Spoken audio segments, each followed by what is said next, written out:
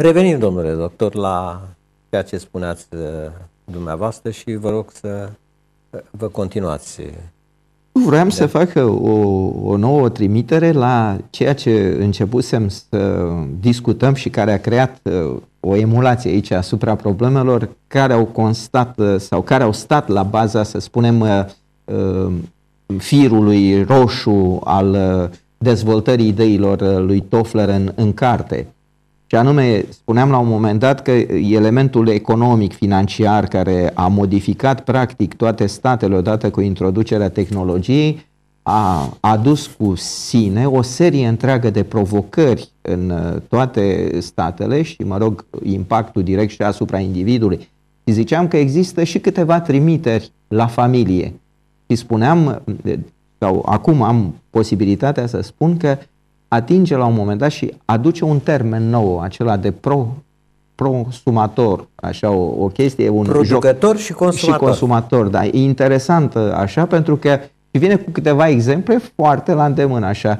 În Aia care, chiar frumoase, da, tata. frumoase, în care da. dacă până atunci, cu mă rog, aia, cu, da, da, deci dacă până atunci toți oamenii erau dependenți de intermediari să-și rezolve problemele tehnice, casnice la un moment dat, cei care își făceau propria casă erau dependenți de antreprenori, aveau nevoie de o serie întreagă de intermediari. Pacienții, domnule doctor. Pacienții, informațiile, ideea da. de on-call, adică să, să suni și să afli informații, să-ți repari singur, uh-huh. singur anumite uh, gadgeturi tehnice, electronice din casă, așa.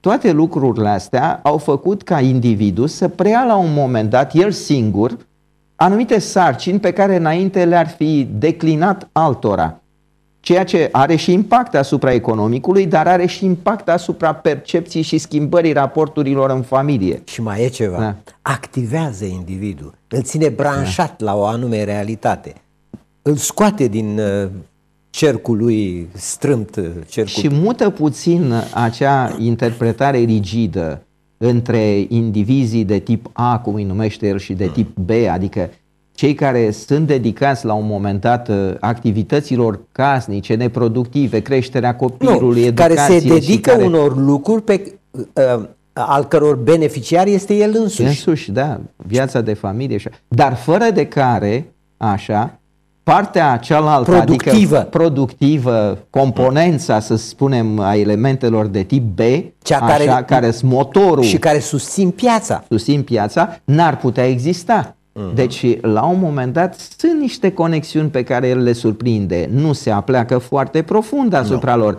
Le Nici trece așa în, într-un efloraj, dar uh-huh. incitant la un moment dat uh-huh. și care îți spune niște nu, întrebări. Cartea are, da. cartea are multe lucruri.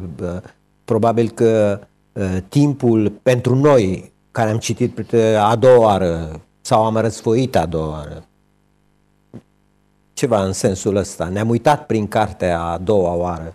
Uh, trăim sentimentul că e deja viu.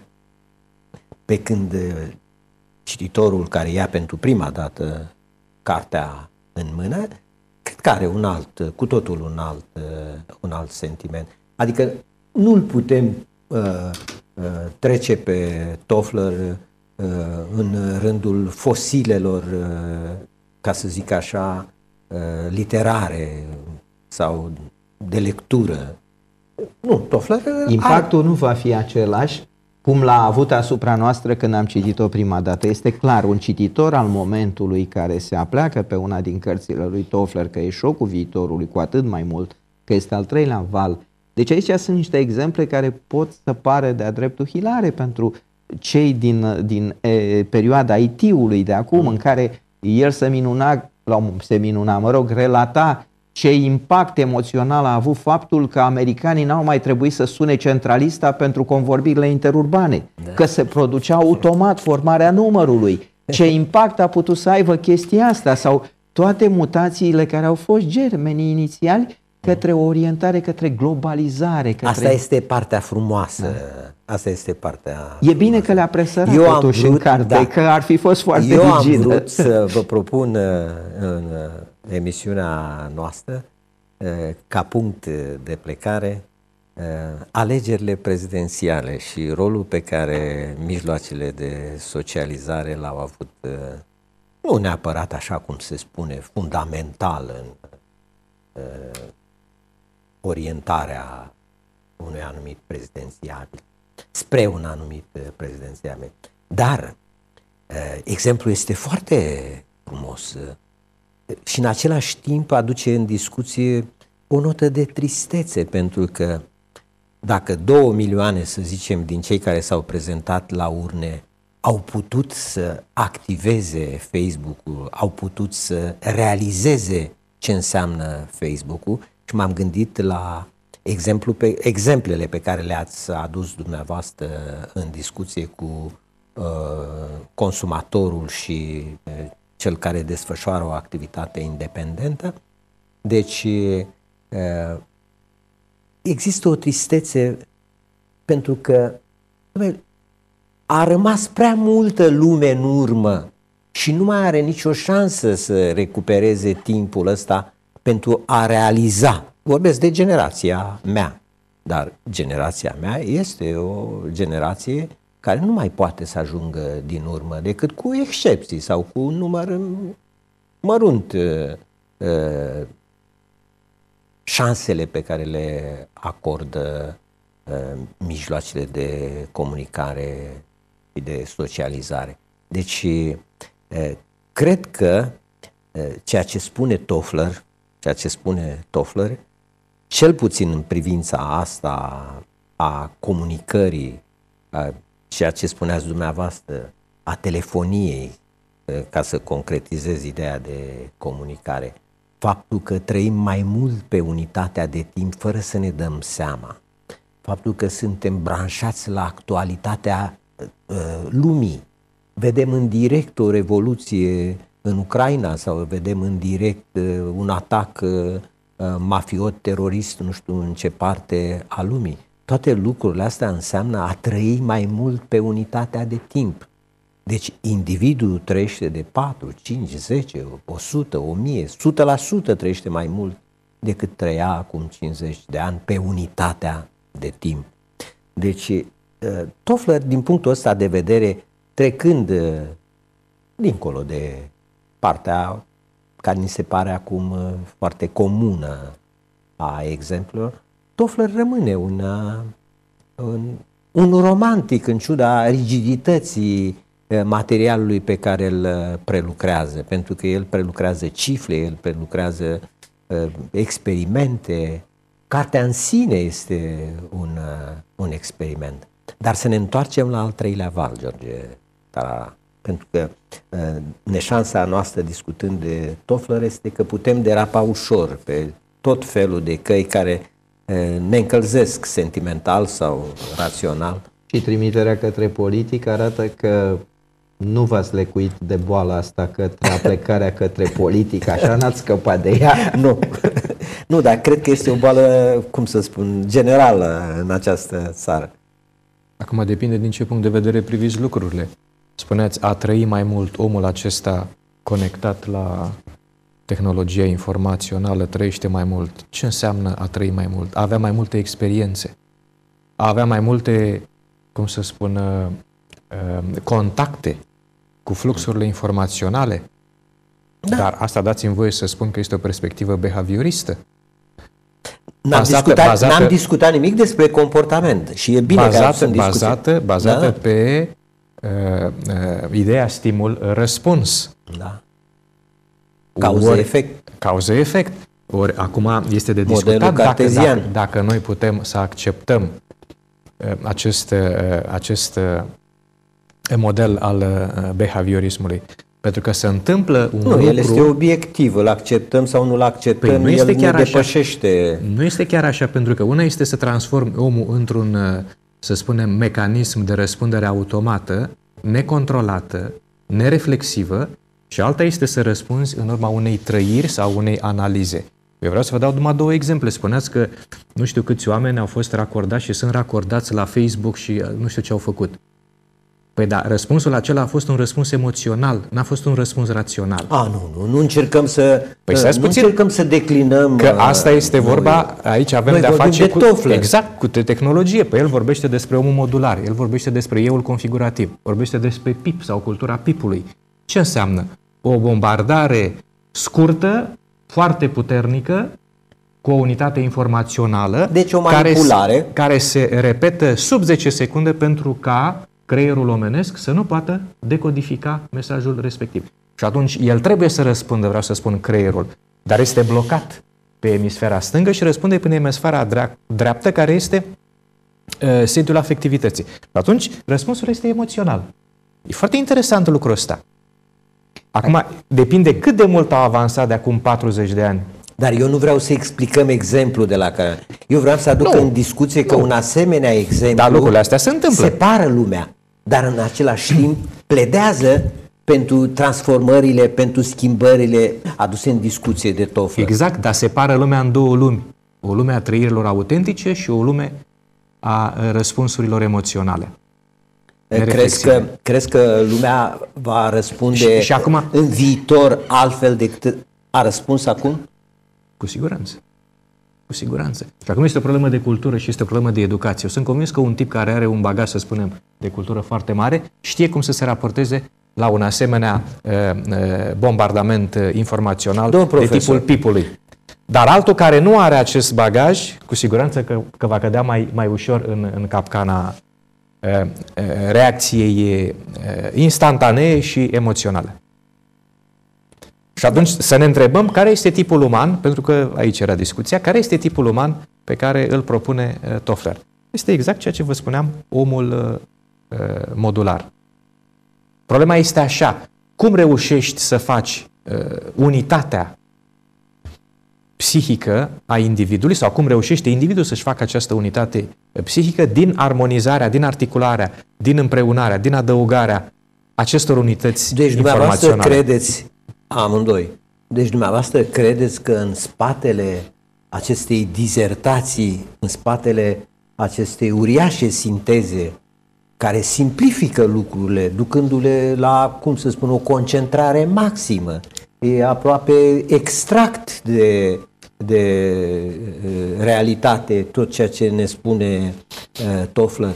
Crezi că în spatele a acestei sinteze, a acestui extract de realitate, se ascunde o idee pe care pentru Malefică? Care, nu, o idee pentru care uh, Toffler pledează pro domo, pro, pro lumea lui? Nu neapărat. El prezintă o realitate. Sau cum a văzut el lucrurile. Sau cum crede că vor ajunge, cum, cum crede că vor evolua evenimentele în viitor. În condițiile Dar astea, noi trebuie să ne gândim. Adică nu putem să luăm. Bun, al treilea var și Și vreau să spun următorul lucru. Partea emoțională, băi, partea emoțională reprezintă uh, felia aia, iartă-mi repet, uh, uh, Așa. uh, întoarcerea la acest cuvânt, de umanitate, de... Uh, Dar cum să știți ce spun, se de- întâmplă? De acord, Da. nu este emoționalitatea în sensul pe care îl atribuiți dumneavoastră. Asta este părerea mea. Avem de-a face cu un alt tip de emoționalitate la Toffler. Emoționalitatea răspunsului, vrei să-mi spui tu. Exact. Adică sub, Dumneavoastră vă gândiți la sub emoționalitate imperiul ca emoției, trăire. răspunsul e distorsionat. Să- Ca trăire, puteți trăi, puteți avea o trăire, puteți pe baza ei să faceți o analiză, să luați o decizie. George, dar eu cred că nu putem uh, separa cu uh, atâta acribie uh, partea subiectivă, partea emoțională a individului de trăirea lui, cum să spun, general umană, care nu e numai a lui. Adică individul uh, poate să reac- poate să fie împărțit la scară teoretică în uh, părțile pe care tu le aduceai în discuție, dar mi se pare puțin, uh, uh, puțin rigid, puțin uh, tezist uh, lucrul ăsta. Deși uh, realitatea, și eu vreau să spun că citesc pe internet uh, uh, tot felul de interpretări, nu numai de ordin politic, dar de ordin istoric, uh, pe care aș putea să le privesc și dintr-o perspectivă emoțională și dintr-o perspectivă, ca să zic așa, obiectivă. Eu am avut sentimentul că această carte, nu, că lucrările lui, lui Toffler, uh, a, sunt ancorate într-un, poate exagerat de mult, uh, într-un obiectivism, cum să spun, rece. Nici n-ar putea altfel. Este, până la urmă, el este un gânditor, este un sociolog, este nu-mi place să De acord cu dumneavoastră, dar pot să vă dau un alt exemplu de pildă ciocnirea civilizației la, a lui Huntington.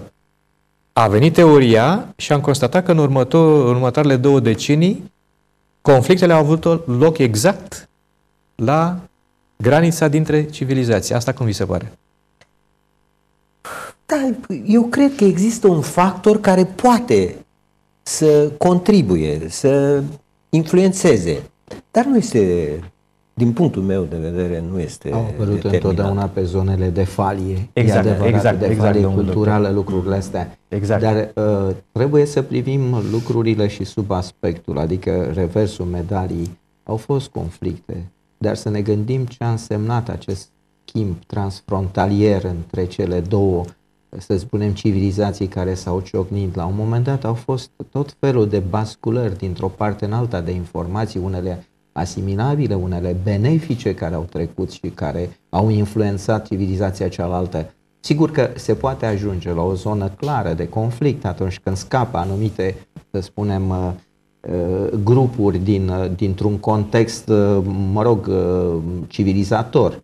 Dar a muta la un moment dat, cred că dacă mutăm puțin discuția, revenind la ceea ce spuneați, la ceea ce a zis domnul profesor, o mutăm pe complexitatea, să spunem, uh, psihologică a individului. E adevărat că persoanele care, cum spunea domnul profesor, care au un prag intelectual mult mai jos, receptează altfel un anume mesaj. Cele care au capacitatea de a introduce filtre, au altă percepție asupra realității și n-aș putea să spun că este un element neapărat un filtru protectiv. Poate uneori să fie, dar să știți că acest bombardament care există întotdeauna uh, creează la individul care are un, un prag intelectual mult mai elevat, creează o problematică și mai complexă, pentru că este capabil să facă asocieri mult mai complexe și el va genera o altă problematică care dacă o ducem în planul biologicului așa,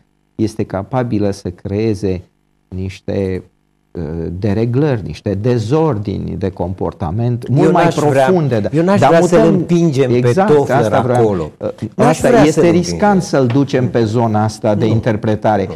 E foarte adevărat. E este posibil, un fin da. observator. Este un, un om care a reușit să sintetizeze un mers al civilizației Și- cu Da, vă rog. uh, mă rog, cu perioadele uh, de ritmicitate care sunt mm, e, lucruri perfect uh, mm, transparente în istoria Pe de altă civilizației. parte, eh, metodologia de lucru într-o asemenea lucrare, de o asemenea anvergură, îl obligă pentru că eh, eu nu fac o pledoarie pentru Toffler, dar el este obligat să sintetizeze, să simplifice, să adune atât de multă informație într-un extract, cum spuneam, care presupune obligatoriu eh, înlăturarea, Păi, nu totul neapărat a îns- balastului. Înseamnă cifre, totul Da. înseamnă, deci pleacă, din la, pleacă de la niște lucruri statistice, totul Da. este tradus în cifre, în valori e, concrete, Da. materiale. Și aici este poate meritul lui că le așează într-un creuzet, într-o matrice și reușește să le facă asimilabile pentru uh, largi grupuri populaționale cu diverse nivele sau cu diverse Nu, și îl ajută, profile. Îl ajută extrem de mult metafora. Da. El, de la un capăt la altul, în toate lucrările lui, Nu este prea metaforic, vă, Nu, vă, nu, nu, vă nu, contrazic. nu. Semantic vorbind. Da, semantic. Reușește să facă mai plăcută, mă rog, citirea Mm. cărții, pentru că aduce niște exemple uh, drăguțe, să zic așa, frumoase din banalul cotidian și reușește să le planteze în anumite momente ca să facă, mă rog, ideea nu, eu asimilabilă. Nu, nu, la asta, nu asta aveam în vedere, nu faptul că el uh, face cartea mai ușoară, mai înghițibilă, Mai uh, digerabilă, mai da. digerabilă. Nu, nu la asta mă refeream, ci faptul că găsind o anume metaforă, cum evalul, Da. de pildă, uh, poate sub această umbrelă să strângă informații din toate planurile, din toate planurile vieții. Deși, așa cum bine remarcați dumneavoastră, ceea ce predomină de, de la un capăt la altul în lucrările lui este modelul economic. În modelul... anii 80, de-abia se puneau germenii așa globalizării. Da. Și meritul lui este că a reușit să surprindă această tendință către globalizare din anii 70-80, care este o realitate prezentă la momentul de față, reușește să surprindă și disoluția statală, politică, în care frontierele nu mai au niciun fel de valoare, ceea ce s-a și întâmplat. Iată exemplu comunității europene, iată ce se preconizează în continuare. Că va rezista sau nu un asemenea model politic, nu vom ști, pentru că există și critici asta, ai sistemului de da, comunitate asta în europeană. Plan politic, dar, dar da. există dincolo de planul politic o realitate care te obligă la globalizare, peste care n-ai cum să, să treci. Adică nu te poți închide, nu poți să tragi fermoarul și să zici de aici încolo e țara mea, de aici încolo e Dar viața va fi mea. benefică, aici este problema, putem să facem o, o emisiune întreagă care sunt lucrurile benefice ale globalizării și care sunt elementele care sunt criticabile. Domnule doctor, credeți că uh, în toată globalizarea asta, uh, ceea ce numeam mai înainte uh, o realitate obiectivă, este 100% o realitate obiectivă, chiar dacă n-ar fi 100% obiectivă? Motorul globalizării este da. elementul economic. Da. O societate care a și-a atins pragul de dezvoltare industrială și care reușește să producă mai mult decât se consumă, va avea întotdeauna nevoie de piețe de desfacere. Această nevoie împinge politica marilor, să spunem, dirijori. Obligă la deschidere. Exact. Ori acest lucru împinge foarte mult frontierele către țările care aparțin lumii a treia.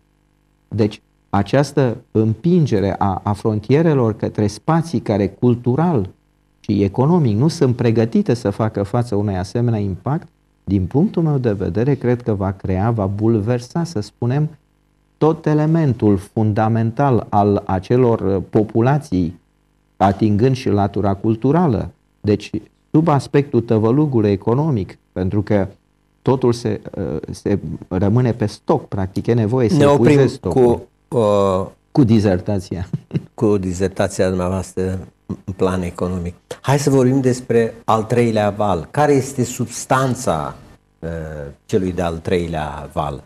În uh, această carte trecută în primele câteva sute de pagini în revistă uh, povestea celui de-al doilea val și în sânul celui de-al doilea val, cu momentul ăla 70 uh, care a generat în America Uh, atâtea discuții, apar germenii celui de-al treilea val. Ce înseamnă cel de-al treilea val? Adică, cu alte cuvinte, ceea ce păreau să fie niște uh, supoziții în uh, prima carte pe care am discutat noi, devin acum aproape certitudini în al treilea val. Uh-huh. Pentru că multe aspecte sunt reluate din prima absolut, carte absolut. și pigmentate cu cifre, mă rog, cu uh-huh. realități noi care oricum uh, au cuprins uh, mult mai mult economia și societatea americană decât, să spunem, economiile și societățile ideea este, din restul lumii. Ideea este, George Tarara, dacă această cunoaștere pe care o invocă uh, Toffler, drept uh, materia primă, drept, dacă vrei, petrolul uh, care era uh, condiția esențială a celui de-al doilea val. Această cunoaștere poate să fie extrapolată la întreaga lume? Nici al doilea val. Și în al doilea val, și chiar și din primul val, au rămas uh, multe semne în civilizația celui de-al doilea val, în sensul că mai rămân cu legători colo, pe în Africa. Nu și nu care. numai, și nu numai. Da. El are la un anumit moment o analiză în care arată că primul și al treilea val au uh, câteva elemente în comun. Da. Deci mă gândesc dacă nu cumva elemente în al treilea val s-ar putea mula, s-ar putea grefa pe societăți care au rămas în primul val. De exemplu, producția descentralizată. De exemplu, uh, energia regenerabilă dezurbanizarea. Nu munca vrei la să treci domiciliu. dincolo de economic, pentru că asta încercam uh, când l-am uh, Păi vedeți tăiat că, pe că domnul simțiți doctor. acum o nevoie, aici vreau să vă aduc, uh, domnul Iovan. Vă rog. Nu cumva este vorba de o perspectivă cantitativă și domnul doctor tocmai a, a, a- a subliniat Mm. lucrul ăsta. Cifre, foarte multe cifre, raporturi cantitative. Unde este calitativul de care vorbea Carel? Unde este omul? Așa, bravo. De, ne întoarcem la, la chestiune. La chestiune, sigur Da. că da. Deci, Iată, această cunoaștere pe care ți-am ca invocat-o, orice resursă, dați-mi voie să spun, ca orice resursă, probabil că va avea și o întrebuințare pozitivă și o întrebuințare negativă.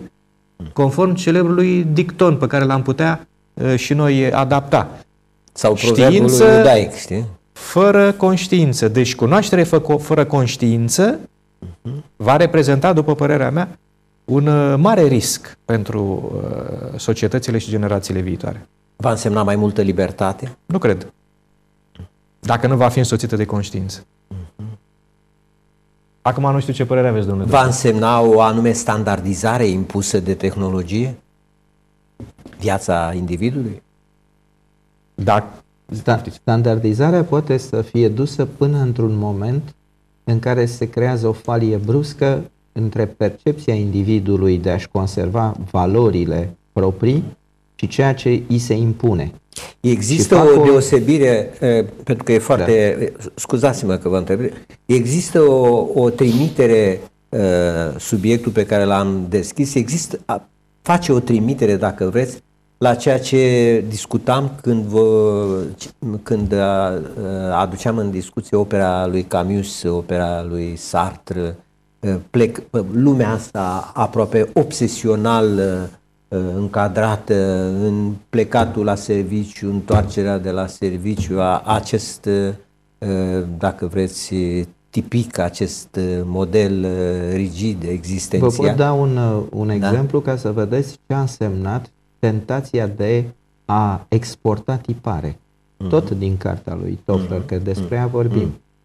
Și mă, mă refer acum la uh, perioada uh, de maximă expansiune economică a Iranului, în care petrolul în exces în, din toată zona Golfului așa, l-a făcut pe șah să importe tehnologie după tehnologie și ajunsese practic ca orice fel de, mă rog, achiziție tehnologică din Europa de Vest sau din Statele Unite, deci erau linii de montaj pentru Mercedes, pentru autocare, pentru electronice, pentru orice în momentul ăla. Totul s-a grefat pe o cultură care nu era pregătită să asimileze așa ceva și s-a produs conflictul. Deci populația la un moment dat, așa, pe acest, să spunem, suport cultural înclinat către partea meditativă impusă de religie, l-a, l-a recuzat imediat, l-a, l-a respins modelul. Și știm cum s-a terminat treaba asta. Revoluție islamică. Da, și știm cum s-a... Deci există riscuri de a împinge modelele de tip occidental prin această trecere de la al doilea către al treilea val, să spunem așa, de a avea asemenea eșecuri. Tendința de globalizare, de a aduce modelul tău și de a-l impune altora, nu va reuși decât pentru anumite țări care au, să spunem, conexiuni puternice educaționale, culturale cu cele din Europa de vest sau cu cele din Statele Unite. Deci există un eșec. Gândiți-vă ce se va întâmpla, și lucrul ăsta se vede, cu epuizarea deja anunțată a resurselor petroliere, deci a hidrocarburilor. Deci eu vă pot, sau ideea mea personală este că în, se va produce o, o mare uh, falie și în momentul în care uh, dacă civilizația occidentală nu este pregătită cu alte surse uh, eventual regenerabile sau alte surse uh, alternative de energie și rămânem tot pe, pe energia din hidrocarburi, va fi un mare șoc în momentul ăla și economic, dar nu numai și conflicte Eu cred că și așa mai marile departe. putere au în sertare Este posibil, la... dar uitați-vă ce se întâmplă cu țările care au capacitatea vizionară din zona Golfului. Uitați-vă ce se întâmplă cu Emiratele Arabe, deci cu Dubai, cu Abu Dhabi. Deci și-au dat seama că resursele lor sunt în prag de epuizare și încearcă acum să creeze pe această zonă o altă valorizare a poziției decât cea dependentă strict de, de hidrocarburi. Încearcă să atragă investitori din domenii, să spunem, care n-au nimic de a face cu latura industrială. Deci încearcă să creeze o platformă între extremul asiatic, sud-est asiatic și Europa, pe această zonă. Deci, domnule doctor, da. am plecat din subiect. Haideți să ne întoarcem N-am la plecat, al treilea... Suntem chiar în, în miezul subiectului, suntem pentru că subiect. este de fapt viziunea uh, unui futurolog care are la bază datele statistice economice care au generat toată această succesiune, toată această evoluție practic. A, a, aceste valuri au la bază latura economică, mai nu, puțin vreau latura... Să, vreau să facem, să, să ne fie aplecat mai mult la ceea ce înseamnă cunoaștere, esența, dacă vreți, celui de-al treilea val. Dar, din păcate, timpul uh, ne-a tras uh, clapa. Emisiunea se află deja cu câteva minute în plus față de cât aveam determinat. Așa că vă mulțumesc și... Lăsăm uh, telespectatorilor posibilitatea, o provocare, da. așa să continue, să spunem, ideile noastre, dezbaterea da. noastră. Da. Vă mulțumesc, vă mulțumesc, stimați telespectatori. Emisiunea noastră s-a încheiat.